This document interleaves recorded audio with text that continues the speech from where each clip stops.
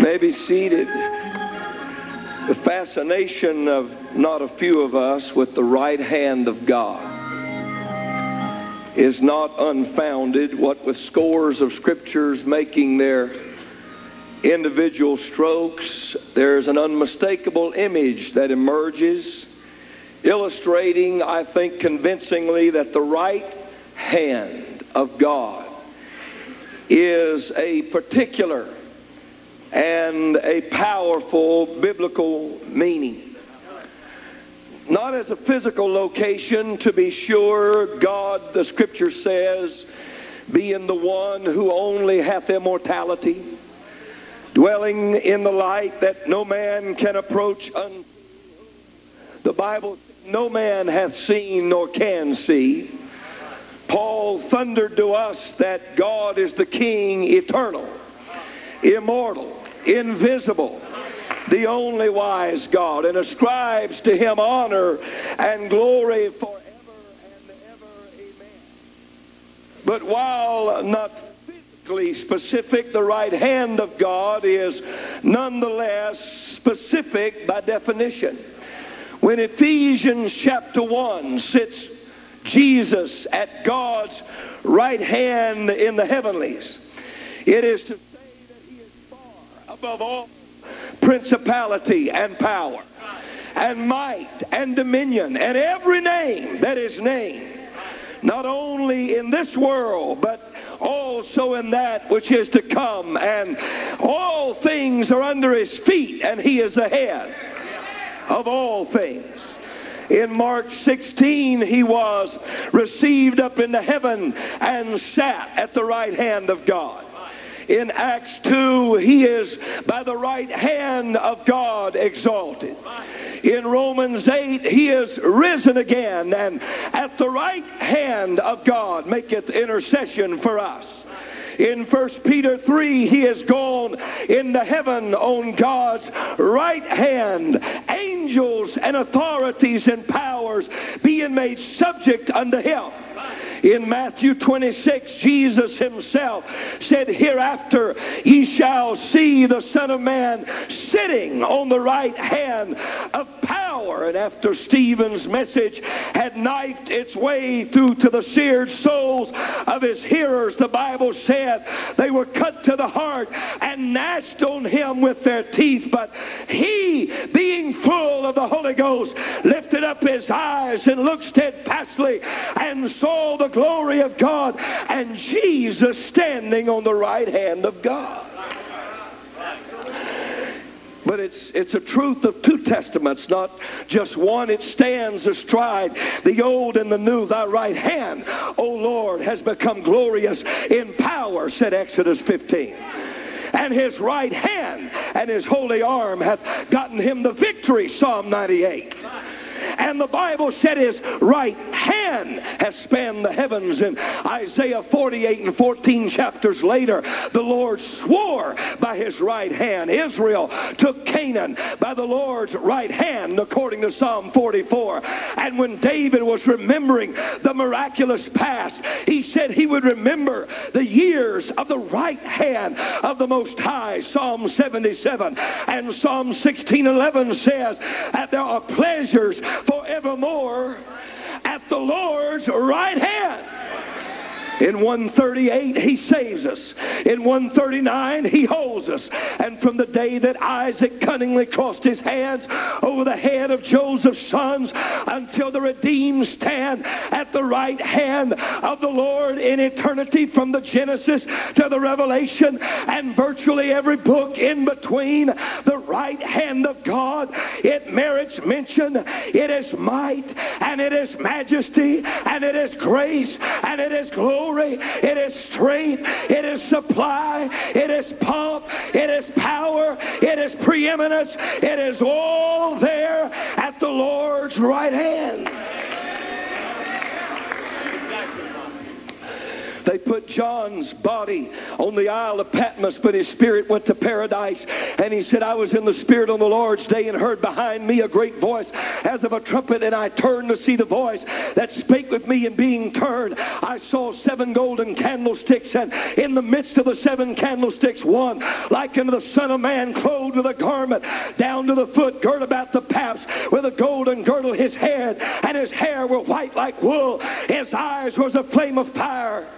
His feet were as fine brass, as if they burned in a furnace. His voice as the sound of many waters, and he held in his right hand seven stars, and out of his mouth went a sharp two-edged sword. And when I saw him, I fell at his feet as dead, and he came and he laid his right hand upon me and said, Fear not, for I am he that liveth and was dead, and behold, I am alive forevermore, and have the keys to death and to hell. I stand tonight to tell you that the Lord's right hand is power, it's pomp, it's preeminence, it's glory, it's grace, it's strength, it's supply, it's might, it's majesty.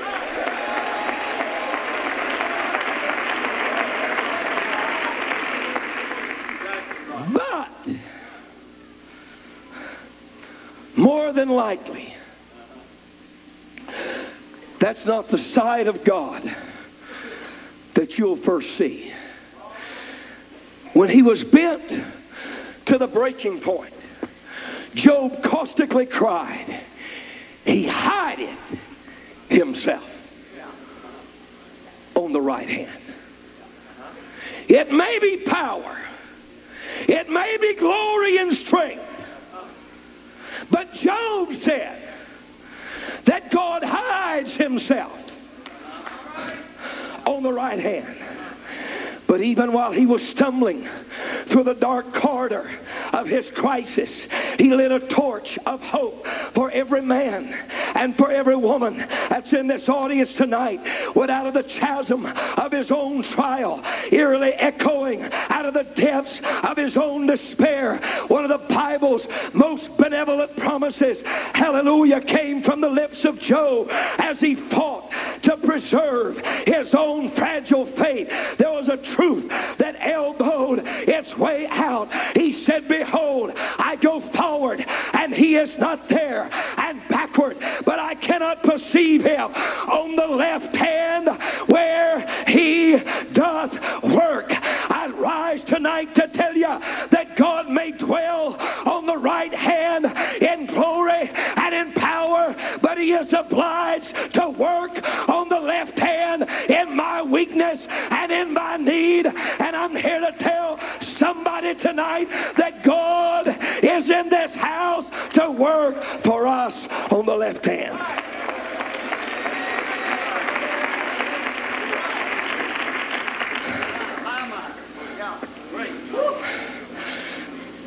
The right hand gets all the ink, but not infrequently. I can't find him there. So the Hebrew writer said, We have not an high priest which cannot be touched with the feeling of our infirmities or our weaknesses, was in all points tempted like as we are. He dwells on the right hand in that blinding light that no man can approach in power but precious preachers and precious preachers' wives. He is pleased to work on the left hand in my weakness and in my need. When I'm tired and when I'm tempted, when I'm confused and when I'm confounded, when I'm wayward and when I'm weary, God doesn't back up. God doesn't bow out. God doesn't run for cover. He just steps in to my situation and says, I dwell on the right hand, but bless God, I work.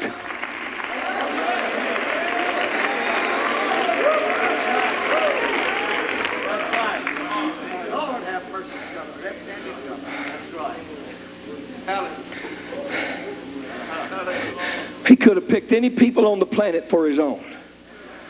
And he fixed his focus on the most feeble one of all. And Ezekiel looked at Israel and reminded them of their origin. He said, Thy birth and thy nativity is of the land of Canaan. You're a half breed. He said, Your father's an Amorite and your mother's a Hittite. And as for thy nativity, in the day when thou wast born, thy cord was not cut, neither wast thou washed with water to supple thee. Thou wast not salted at all, thou wast not swallowed at all. None I pitied thee to do any of these unto thee. Nobody had compassion on you, but you were cast out into the open field to the loathing of thy person in the day when thou was created. But he said, When I passed by thee and saw thee lying polluted in thine own blood. When I saw thee in thy blood, I said, Live. I saw thee lying in thy own blood. And he said to Israel, I said, Live. What was he telling them? I didn't choose you, Israel, because you're strong. I chose you because I'm strong. Hallelujah.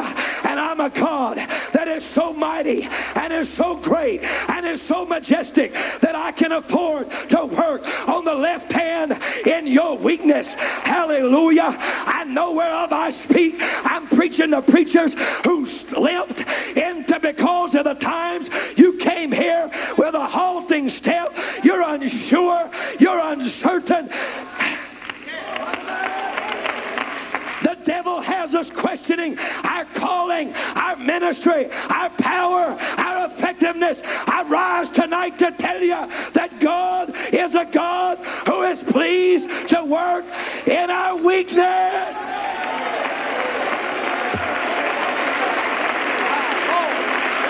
For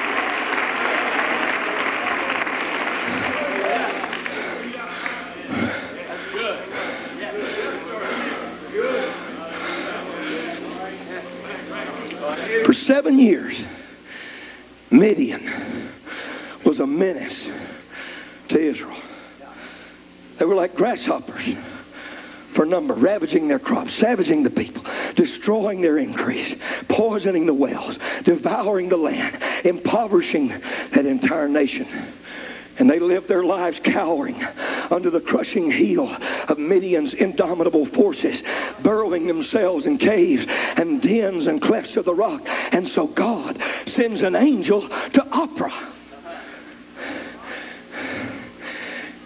And he sends this angel to a fella who's stretching wheat behind a wine press, hiding it from the Midianites to spare it. And God says to this angel he is dispatching that when you go to Gideon, the son of Joash, I want you to treat him with respect. Because in three weeks he's going to take 300 bugle blowers and wipe out the world's greatest war machine. And there's more to him than meets the eye. So the angel comes to Gideon and he says, Ha! Thou mighty man of valor. Gideon ducks behind the wine press and chuckles. Politely explains to the angel why it's not wise for him to go and attack the army of Midian. He said, Let me get this clear for you. I'm the least in my family. It's the least in the tribe. The tribe's the least in the nation, and the nation ain't much to talk about either.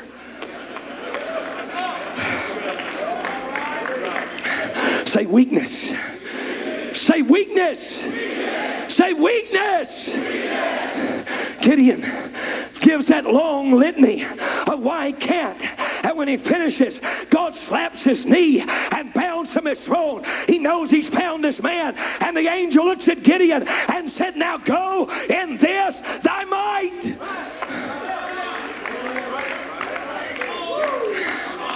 So after God had cut his crew down to size, a lean, mean 300, he hears the fearful, whining, doleful tones of Gideon, and he realizes that Gideon is afraid. And so God comes to him, and he says, now I've heard what you're saying. Now I want you to go hear what your enemy is saying. And so he creeps down into the camp of the Midianites, and they're spread across the valley, and they're like grasshoppers from multitude and camels without number. And he gets up next to the tent flap, and he's sitting there with his servant, and he hears this Midianite in his foreign but understandable tongue begin to describe a dream where a cake of barley came rolling down out of a mountain, and it smote the tent, and the tent fell, and there was great destruction that was wreaked in their camp. And Gideon is listening raptly to this dream. And as soon as the fella finishes telling the dream, another voice is heard. And unequivocally, this voice says, It's nothing save the sword of Gideon, for God hath delivered Midian and the host into his hand. And Gideon said, Let's back that film up one more time on it.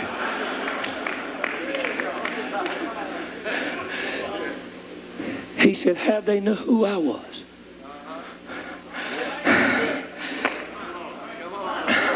I'm just a stupid little kid that 48 hours ago was threshing wheat behind the wine press, and some angel with his brain out of orbit came and told me that I was going to wipe out the Midianite army. I tried to explain to him all the weaknesses that would preclude me from being able to do this mighty work for God, and he told me that my weakness was my strength. Hallelujah. That my inadequacy was my might. Hallelujah. And now I'm listening to some cat that's having a dream, and his buddy is telling him that I have had the army of Midian delivered into my hand. You know what he did? The Bible said the first thing he did was he worshiped. And if you ever get down into the devil's camp and hear how frightful, how afraid the devil is, when God starts working in our weakness,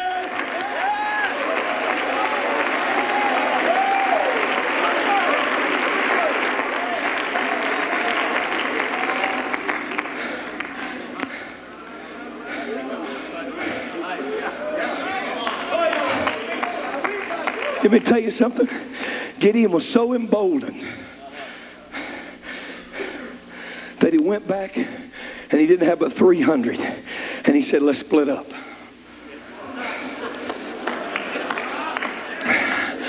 And he put a few over here and a few over there and a few over there. He said, we don't have to stick together. We're going to wipe them out. They don't have a chance. I'm coming to tell you in the Holy Ghost tonight that there are some people in this audience. Hallelujah. And God wants us, I'm included in your number, to understand that we can catalog our weaknesses. We can catalog our weaknesses. We can list a long litany of things that work against us. But I've rise to tell you that the God who dwells on the right hand is obliged to work on the left hand. God doesn't need your strength. God doesn't need your potential. God doesn't need your ability. God doesn't need your talent. God is pleased to work on the left hand. I want everybody to take your left hand and thrust it in the air.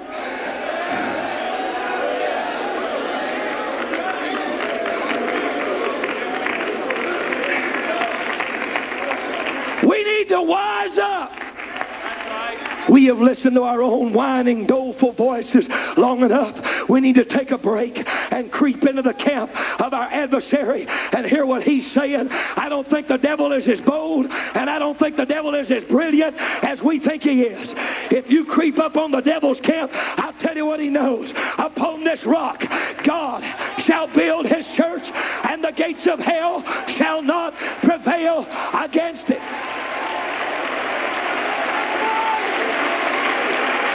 The devil knows that he that is in us is greater than he that is in the world. The devil knows that when the enemy shall come in like a flood, the Spirit of the Lord will raise up a standard against him. He knows that.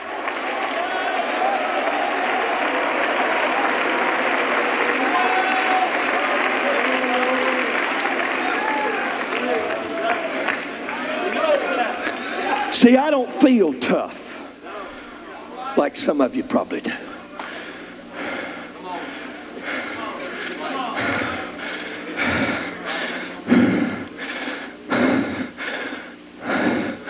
I don't feel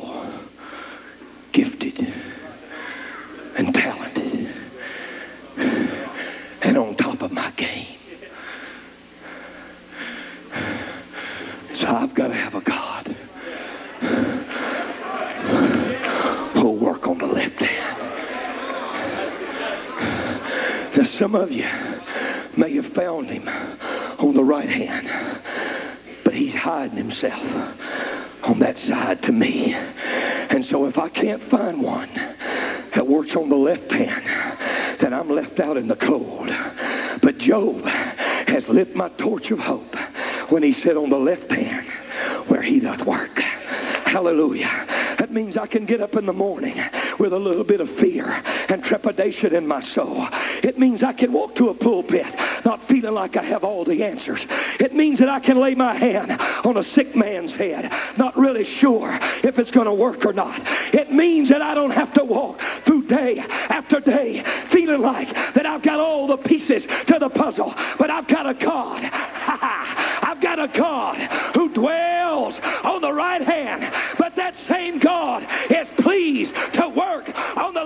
left. I tell you what that does. That promises revival and power to every man and woman in this house tonight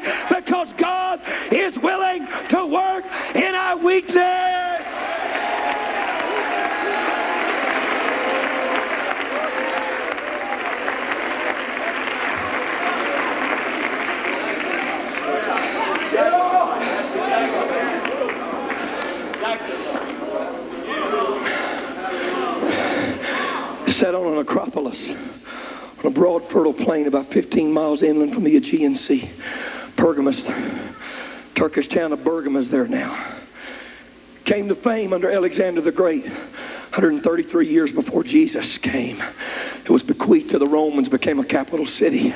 It was home to one of the most stupendous libraries of antiquity, 200,000 books in a day when they had to be hand transcribed parchments the animal skins that were used for paper had begun in Pergamus. But it was more well known for the fact that it was the seat of worship of four pagan deities. Magnificent temples dotted the landscape to Athena, Dionysius, Asclepius, and Zeus. Hallelujah. It was a center of that blasphemous worship of Caesar because as a territorial capital in the Roman Empire, it was the county seat where the worship of the ruler Caesar was carried on. Jutting out from the Acropolis upon which it sat was a 90 foot square ledge, 40 feet high an ancient wonder of architecture. In the 19th century, the Germans went and excavated it and took it to a Berlin museum to keep and leave on display. It was the altar of Zeus. That's why when John wrote to the Christians at Pergamus, he said to them, I know where you dwell. You dwell where Satan's seat is. You live in a place not where just Satan lives, but Satan has a throne. He has a seat. He's in control. But he said, thank God. I want to commend you that right on the devil's doorstep, you have kept the faith and you have not denied his name and you have built a church. Hallelujah. Right under the devil's nose.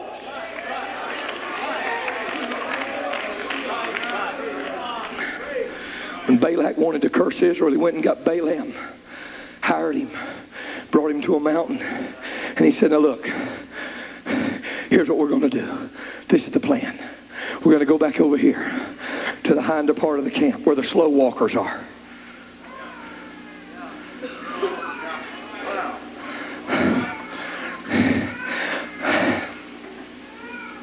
And I want you to curse this people from the utmost part of the camp.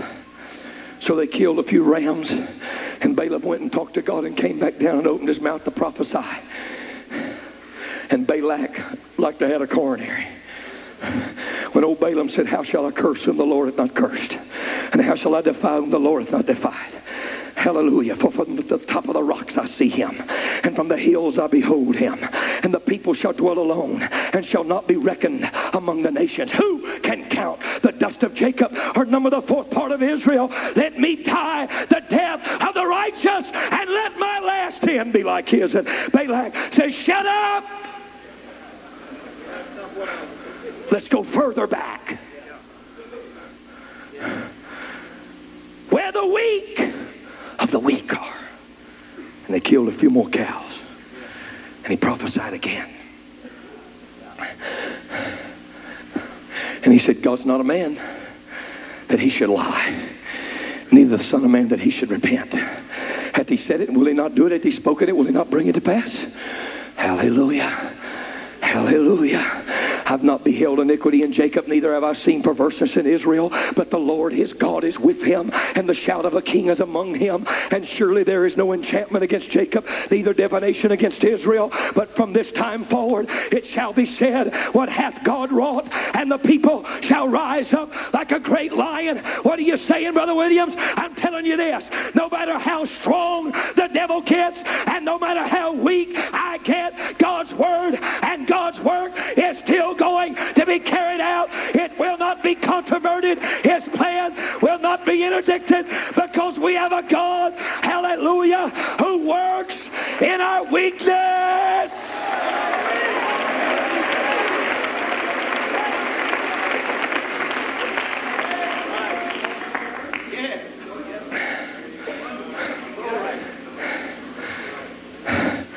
See, I've been here every year.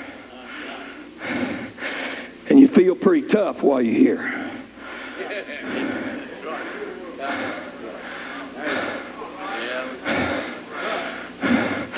But in about three weeks, you're going to wake up one morning and feel like your teeth have been kicked down your throat.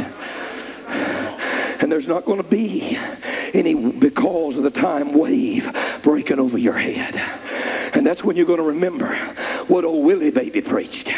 That God may dwell on the right hand, but he works on the left hand. He works in my weakness. He doesn't back up. He doesn't bow out. He doesn't run for cover. When he looks at me and I've got the white flag tied on the pole and I'm fixing to toss in the towel, God runs to my rescue. Hallelujah. Hallelujah. Hallelujah. And he said, hey, wait a minute. I don't just work with the strong and the gifted and the talented. I work in weakness.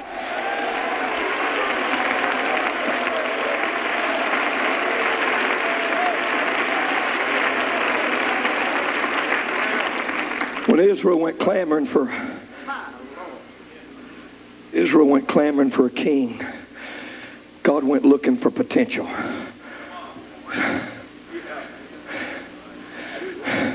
This is the other side of the coin.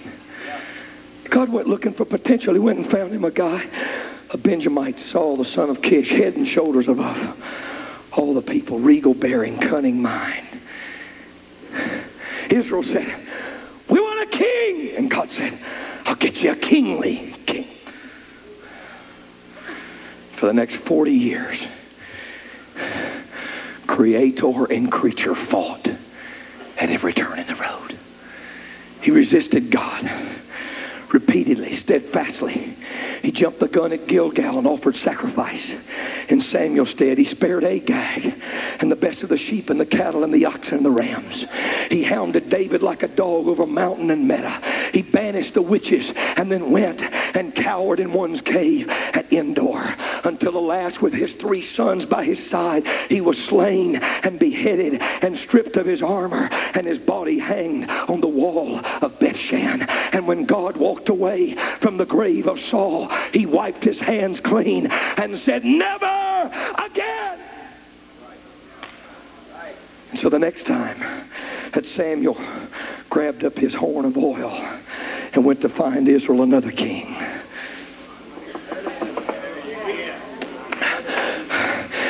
Eliab came walking in front of him.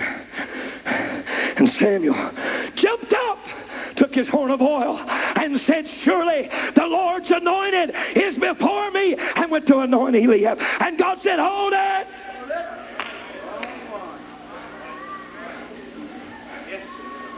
Look not on his stature, for the Lord seeth not as man seeth. And Abinadab came by, and Samuel jumped up, and God said, Back up, Bubba.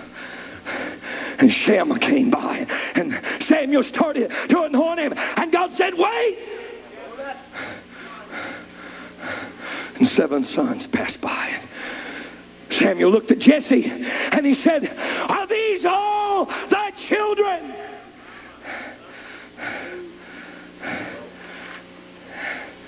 She said, no. said, there's one more, but he's not the one.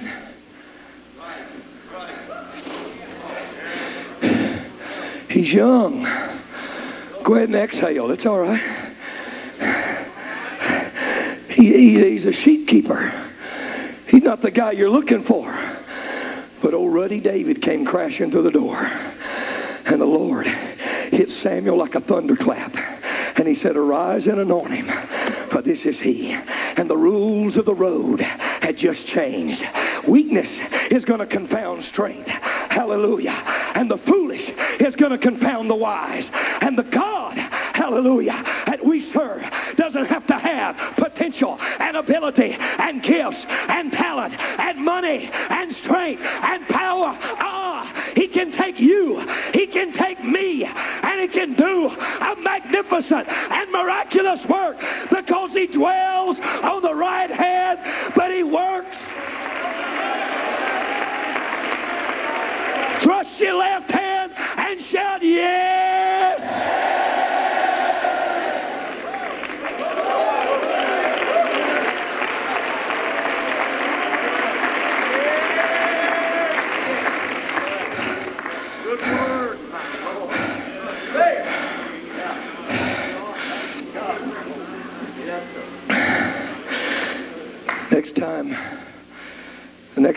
God chose that kind of strength was a full testament away.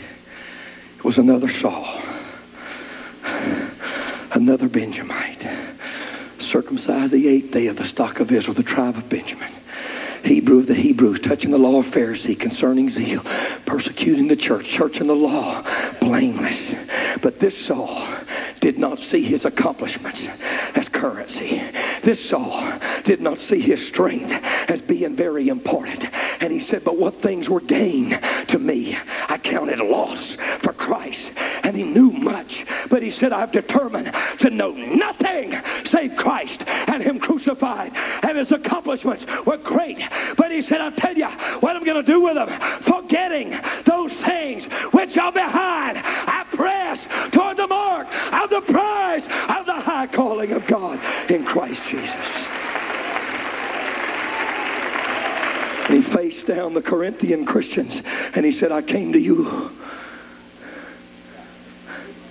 I came to you. And what? That's a wimpy weakness. I came to you in weakness and in fear and in much trembling. But he said, I'm not worried about it because the body behind that blinding light that drove me to the ground on the Damascus highway, he said his grace was sufficient for me and that his strength was made perfect in my weakness.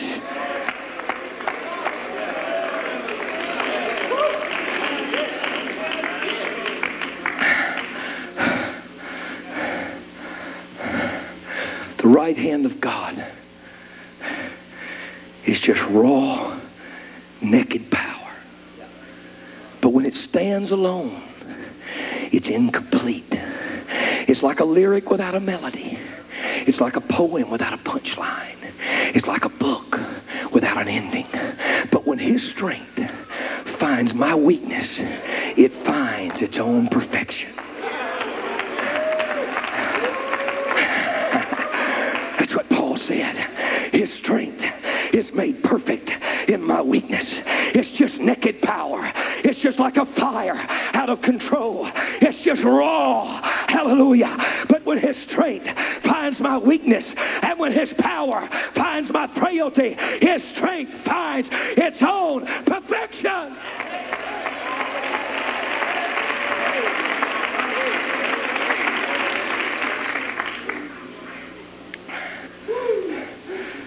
May have stumbled into because of the times. Reeling from the unrelenting blows of our out of orbit world.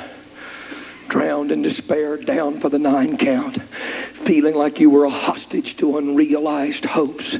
But I want to challenge you not to raise the white flag just yet. I'm not crazy.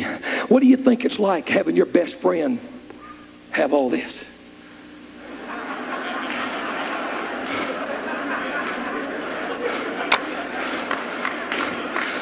You want your best friend to have 50.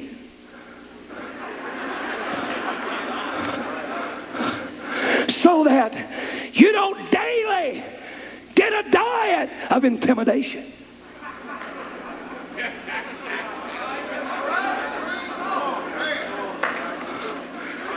Not easy having that for your best buddy.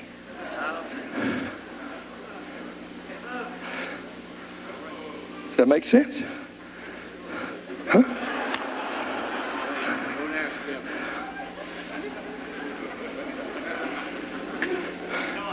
You can never win. No matter what you do, never hits the line, never reaches the mark. I know how you feel when you walk in here. You're surrounded by thousands. You're serenaded by a choir without parallel. And you see success from every side. And it's possible to walk out of this place and feel like that God is only going home with the guy that's got the manner and the ministry. Just listen to me. And the money. But old Williams is coming tonight to tell you that when the light, just listen, that when the lights go out in here tonight and we all say our goodbyes, God's going to get in the car with the guy that's got the inadequate facility and the anemic bank account and the lethargic leaders and the outreach programs that don't work.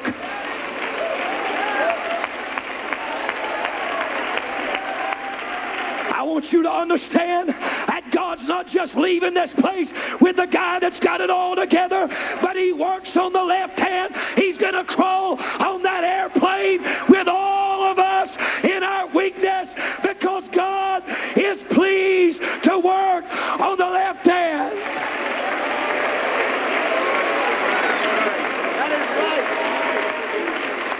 Shout yes! Shout yes! Shout yes!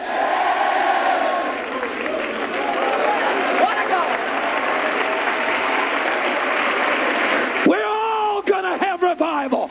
We're all going to have power because God is a God who works in weakness.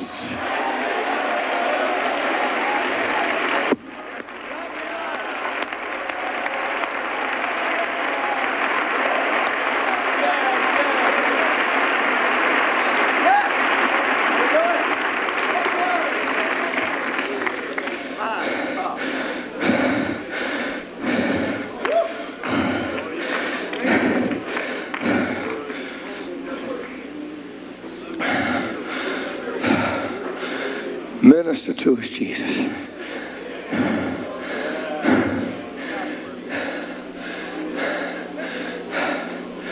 Jehoshaphat was surrounded by Moab, Ammon, the children of Mount Seir. It was a death sentence. The Bible said he feared. That was an appropriate response. Set himself to seek the Lord, proclaimed the fast. He was desperate. That's what we do when we're desperate. He gathered everybody together, went to church. And then here's what he did. He reminded God who God was. He said, kind of brashly, Art not thou he as the God in heaven? Rulest thou not over all the kingdoms of the heathen in thy hand? Is there not power and might?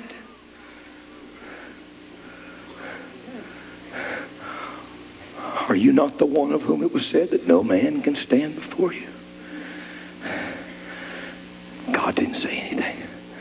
So he figured he'd change his tactic and tell him what was going on. He said, Behold, the children of Ammon and Moab and Mount Seir have come against us to cast us out of thy possession. God still didn't say anything. Just let him twist at the end of the rope. And he's told God who he is. He's told him what's going on. And there's no help in sight. But then he hit the hot button.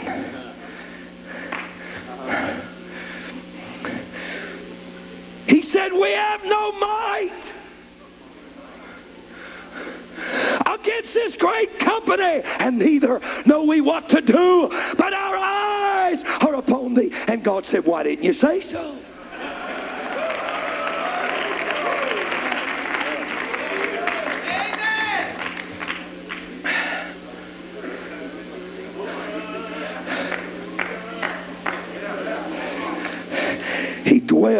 Over here, but he works over here.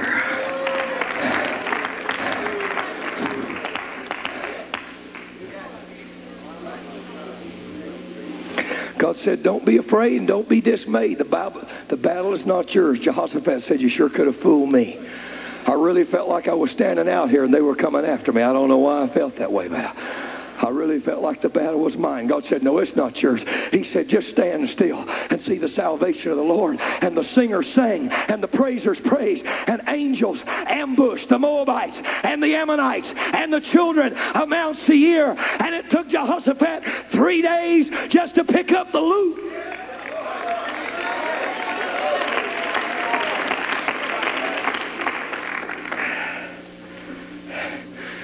You see, that God made the sun is not hard for us to believe. We don't have any trouble believing it. 864,000 miles in diameter.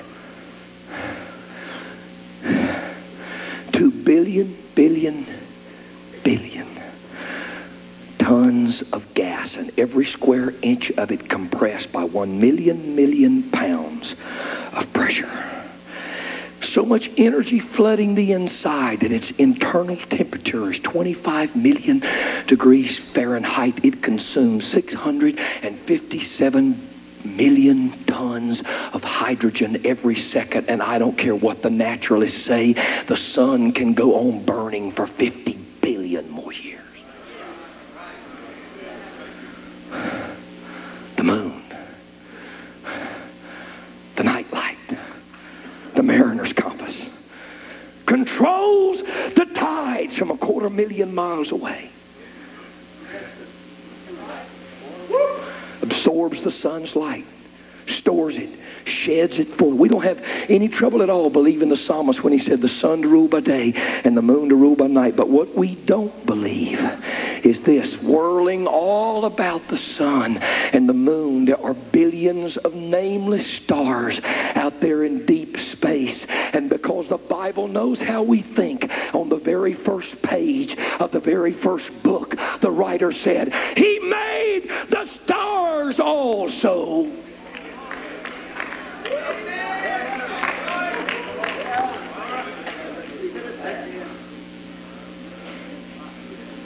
As it is with the heavens, so it is with the humans.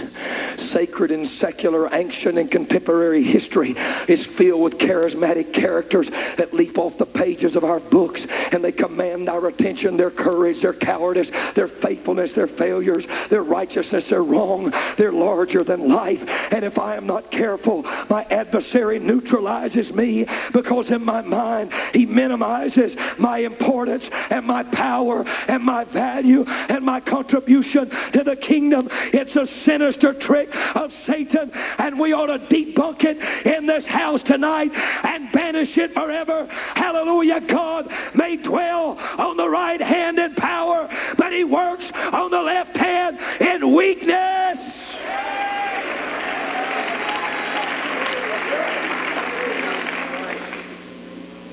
Enshrined in Hebrews Hall of Fame, there's this pantheon of imperfect people. And you read their holy heroics, and if you're not careful, you forget that Noah got intoxicated. And Abraham deceived Abimelech, and Sarah doubted God.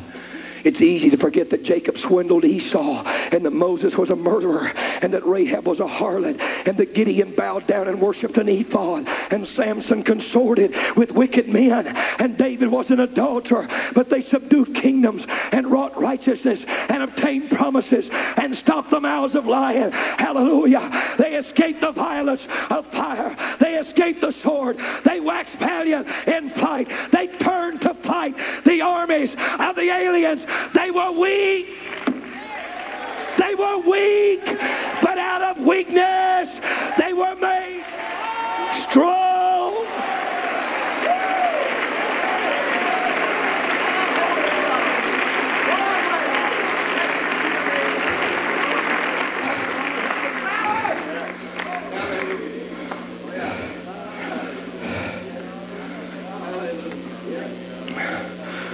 Devil's most dastardly deceptions is that he can make you and me feel accidental and incidental to the work of God.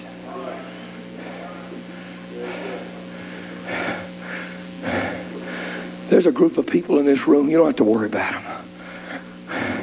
They're going to make it. But the ones I've come to preach to are the ones that walk out of here tonight with a question mark in their head and a little bit of uncertainty in their step and a little halting in their way. I want that guy to fly out of this building when I get through tonight with his head held high and his arm in the air, telling himself, God is not impeded. God is not put off. God is not frightened by my weakness, by my weakness, by my weakness, but he is pleased, thank God, to work.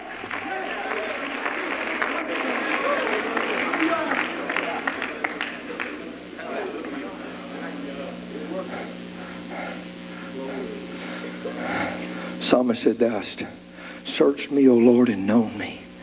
I know it's my down sitting, my uprising. Understand it's my thought afar off. Thou come passeth my path and my lying down, and art acquainted with all my ways. There's not a word in my tongue, but lo, Lord, thou knowest it altogether. Thou hast beset me behind and before, and laid thine hand upon me. I'm not accidental.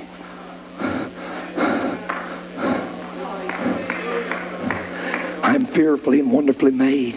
And marvelous are thy works, and that my soul knoweth right well. My substance was not hid from thee when I was made in secret and curiously wrought in the lowest parts of the earth. Thine eyes did see my substance, yet being unperfect, and in thy book all my members were written, which in continuance were fashioned when there were none of them. I'm not accidental.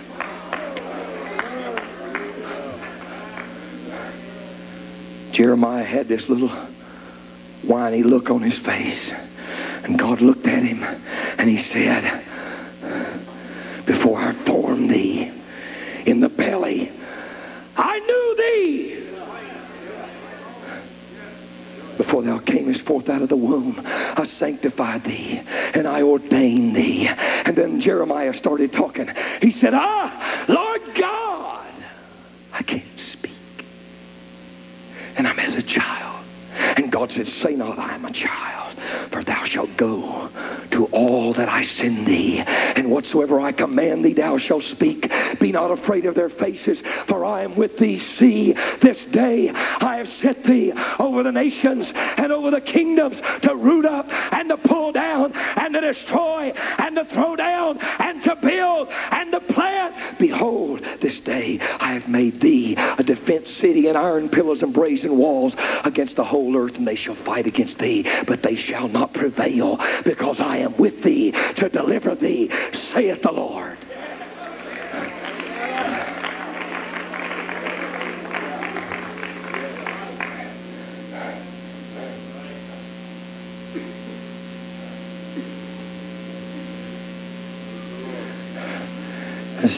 Some of us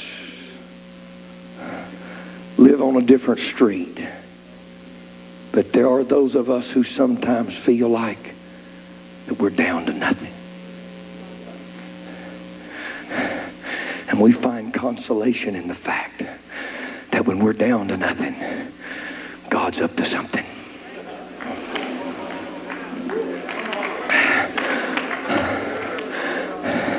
Abraham broke camp took his three-day trek across the trackless desert when he got to Moriah.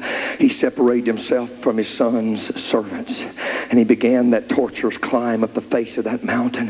His hopes and dreams were bound up in the body of Isaac that was walking beside him, balancing in his hand a little bundle of sticks for fire, a cord to bind the sacrifice to the altar, the makings of an altar on his back and of a fire.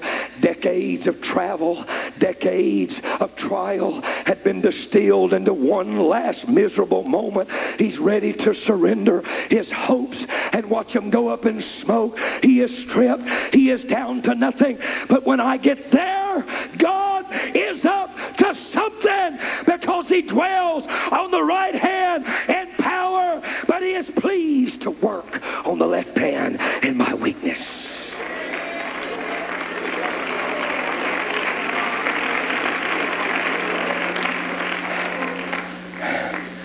And as Abraham took every tortured step up the face of Moriah, unbeknownst to him, there was a ram picking its way through thistles and briars, hot footing his way up the other side of the mountain trying to beat Isaac to Abraham's altar.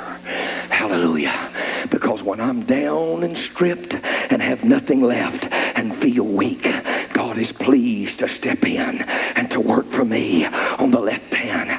Want you to understand tonight that my spiritual and my emotional and my physical bankruptcy does not scare God. The God with whom I have to do took four emaciated lepers, invaded a Syrian camp, and wiped it out and spared Samaria. This God took Samson, who was bound and blinded and belittled, and touched him one last time and destroyed more in his death than he had life. This God snatched Elisha from behind a team of oxen in the field of Abel Mahala and bypassed a mountain full of men and seized his soul and gave him Elijah's mantle of power and his ministry of miracle. His strength is made perfect in my weakness. His strength is made perfect in my weakness. His strength is made perfect in my weakness. He dwells on the right hand, but he works.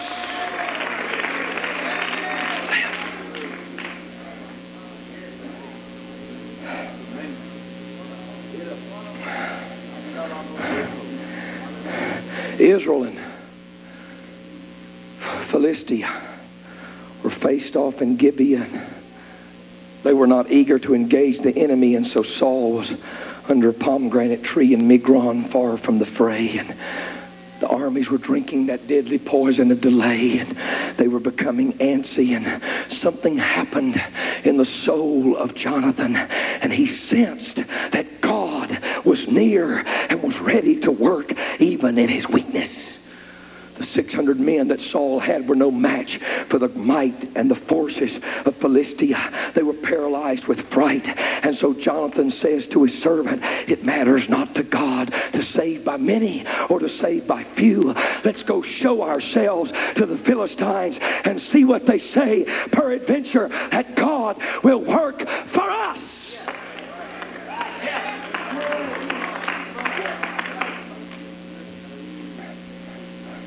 So they crawl through the perilous pass over jagged rocks. They show themselves to the Philistines. And the Philistines raise up and boldly challenge Jonathan. And they say, Come up and we'll show you a thing or two. And Jonathan doesn't even have a sword in his hand. He turns to his armor bearer and he said, Let's go because God has delivered them into our hand. And as he enters the valley, the Philistines begin to fall before him.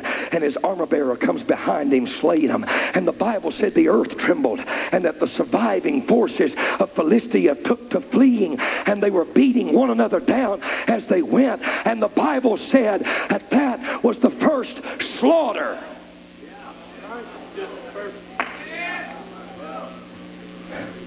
Everybody say the first slaughter. You know how many dead people there were? 20.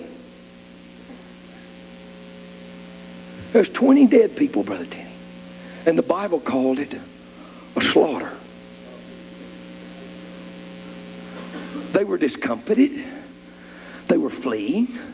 They were beating each other down, but the war wasn't over. The battle had just been joined. And the first conflict won. And the Bible calls it the first slaughter. Now, Saul is sitting back over here on the side. He's out of it. He hears all this tumult and he decides he ought to pray because not a single sword has been unsheathed, not one spear has been flung, not one arrow has been shot, and his enemy's running and it's bugging him because he's Mr. Potential. And he's not comfortable with a God who works in weakness. And so he calls for the ephod and he starts to pray, but there's too much going down. And he, he, he just slams the book shut and hands the ephod to the priest. And he says, I can't, I can't pray now. I, am going to have to join the flight and chase the Philistines. And so he goes running after him. And the Bible said that all the Israelites who had left Israel and joined themselves to the Philistines when they saw that God was at work for Israel, they returned and fought with their people and those that were living in the dens and the caves and the clefts of the rock. They came back and fought for Israel. And as they came to a place called Bethaven, the Bible said that they came to a forest and there was honey on the ground.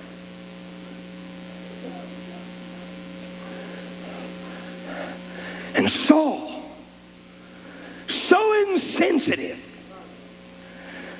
so unaware what God's doing, he commands his famished soldiers not to eat until they have pursued and finished prosecuting the battle to the end.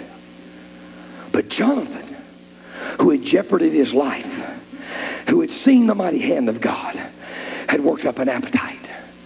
And he didn't hear what his father said.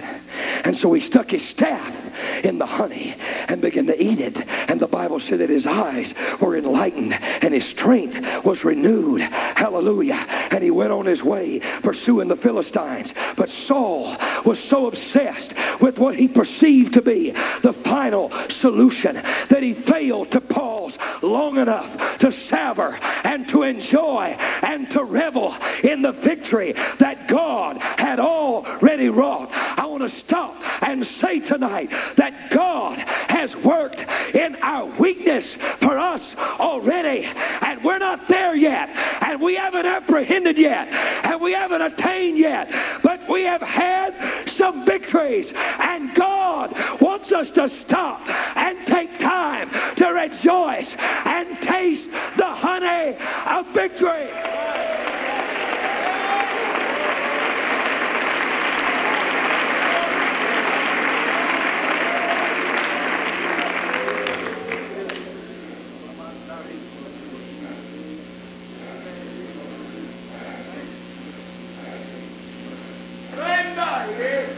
You know what happened?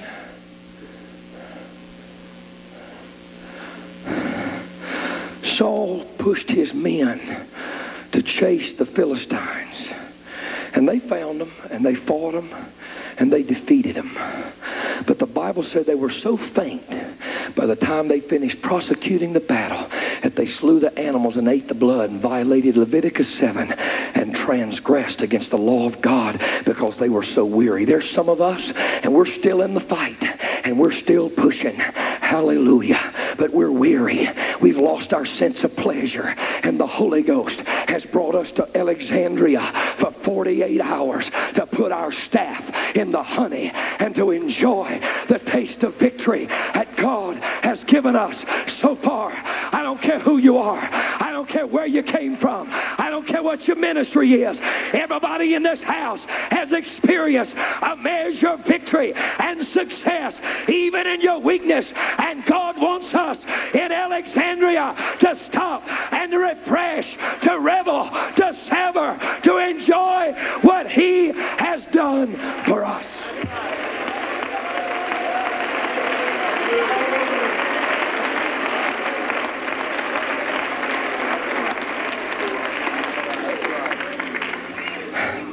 Give me a moment more.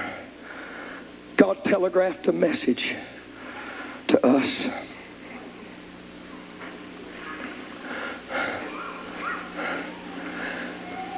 On the first page of the Bible. When he spoke worlds into creation, he knew everything he was going to do from the day he started. And he could have spoken them all into being with one word, but he did it in stages. First day there was light. And he stopped and he enjoyed it. Second day, he divided the firmament and the waters. And he stopped and he enjoyed it. Got up one day and he said, I don't have any seas, don't have any bees, don't have any trees. There's not a galaxy over my head. There's no grass beneath my feet. There's not a rattlesnake in the woods and a river running through the mountains. But I got light and I got firmament, bless God, and I think I'll stop and enjoy it. And the Holy Ghost is wanting to send a message to every man and woman in this house.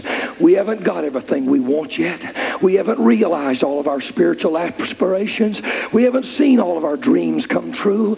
There are still some empty benches and there are still some altars not yet full enough.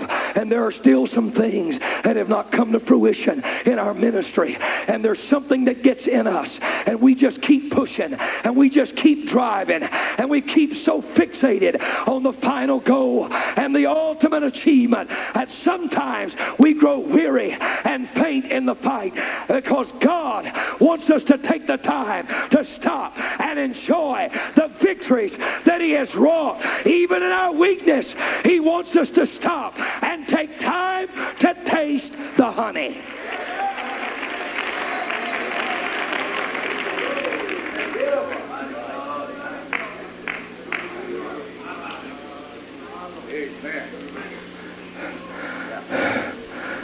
Samson fought a lion and tore him limb for limb with his bare hands.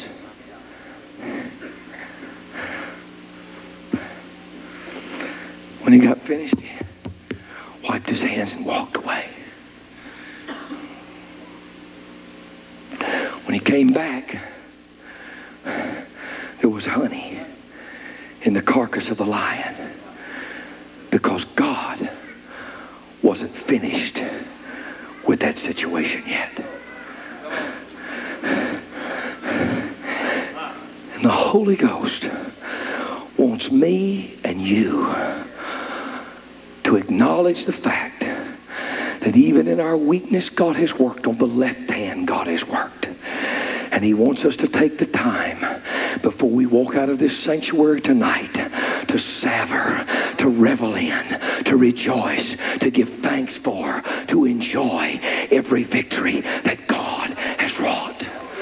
You heard Billy Cole sit on this platform the other day, and he said this. He said, The more God uses me, the more I suffer, and the higher price I pay in my own body. I've got the answer, pal. He works in weakness. He tries. He dwells on the right hand in power, but he is pleased to work on the left hand in our weakness. And I'm saying to somebody in this house tonight that when you walk out of here, don't think that God is just going home with the guy that's got all the pieces to the puzzle, but God is going to leave here tonight.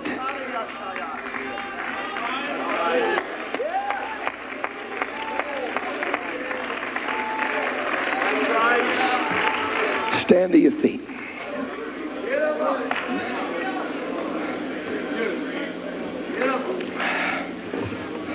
Thank you,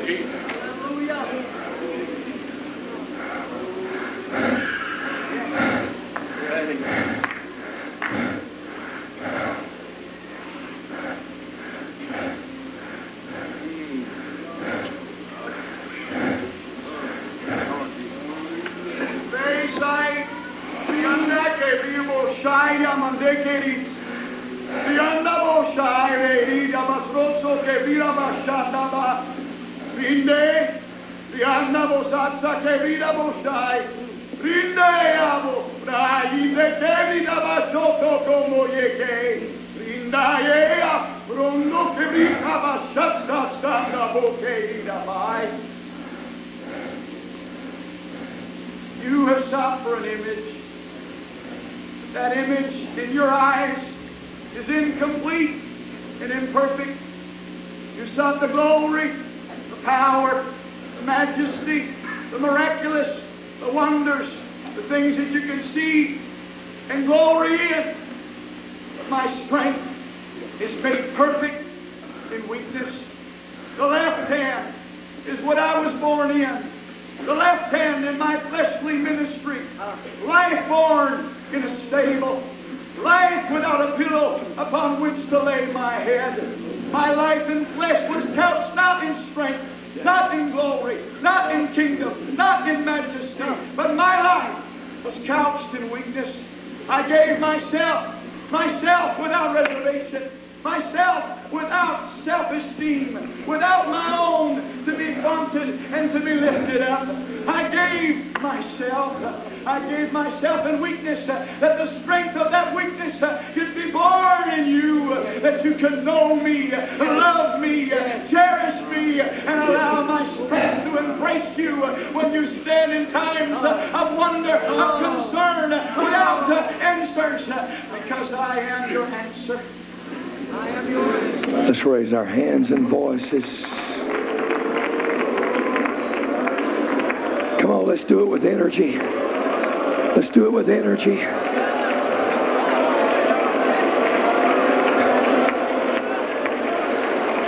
Come on, let's do it with energy. The Holy Spirit, the Holy Spirit is speaking to us.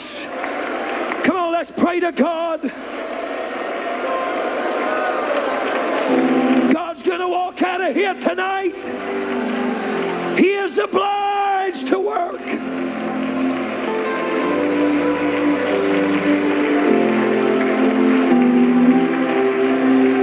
Raise your hands and praise the Lord. Take the chairs out, please.